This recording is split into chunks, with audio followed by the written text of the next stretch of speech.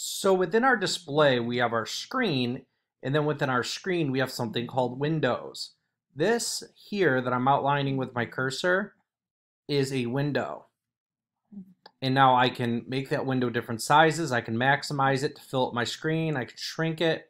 I can even bring it down even more. And I can have multiple windows open at one time. But that is what a window is on a computer.